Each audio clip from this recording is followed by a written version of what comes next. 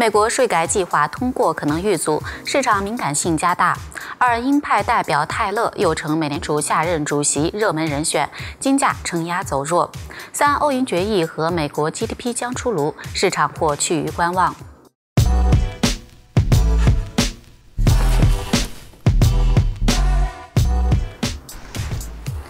周三亚市现货黄金小幅走弱，目前震荡交投于每盎司一千二百七十四美元附近。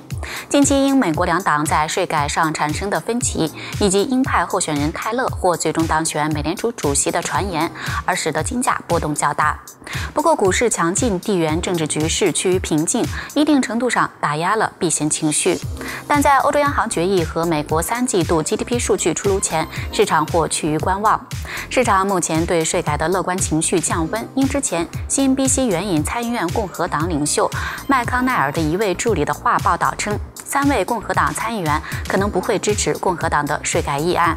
美元指数一度快速跳水，由涨转跌，金价也是冲高后回落，这样也反映了税改的影响力重大，市场的敏感性极高，税改前景或将影响美元和黄金近期走势的关键因素。美国参议院斯科特投出了一颗重磅炸弹。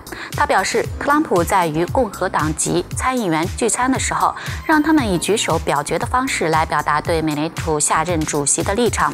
结果显示，鹰派代表泰勒获得了最高的支持度。此前立场偏鸽的鲍威尔是最热门的人选，但突然之间，泰勒又似乎胜券在握，美元再度收复失地。短短半小时的时间，美元指数上扬近百点拉锯战，金价也因此。快速回落。综合而言，美联储主席人选揭晓在即，市场短期波动在结果公布前仍随时可能加剧。但美国美联储选择了一位鹰派候选人，金价非常可能承受新的压力。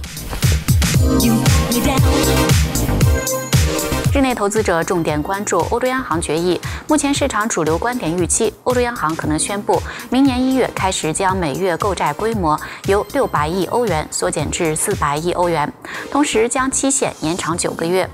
目前的不确定性在于，部分分析师预计 Q1 将仅延长六个月。